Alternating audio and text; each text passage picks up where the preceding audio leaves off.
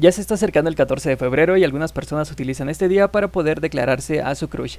Y en este video y como somos programadores, evidentemente podemos crear este tipo de soluciones para algunas personas que quieran dedicárselo o quieran mandárselo a la persona que les gusta y así puedan saber si sí les aceptan o en cuyo caso lo rechazan. Hace algunos años habíamos hecho esta dinámica, pero utilizando Visual Studio, si no me equivoco era Windows Form con C Sharp en esta ocasión vamos a hacerlo con HTML, CSS y JavaScript. El funcionamiento sería el siguiente. Básicamente es una propuesta en donde le estás dando una pregunta y habrá dos botones, uno que dice sí y otro que dice no.